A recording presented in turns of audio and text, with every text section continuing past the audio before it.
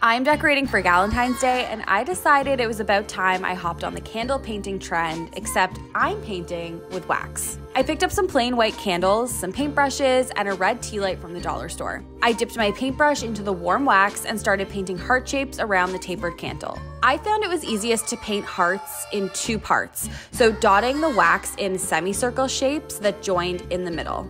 To make them look more 3D, I painted over the same spots multiple times. Something that really helped me was using the back of my brush to scrape off any mistakes. I'm so happy with how these turned out. My guests absolutely loved them.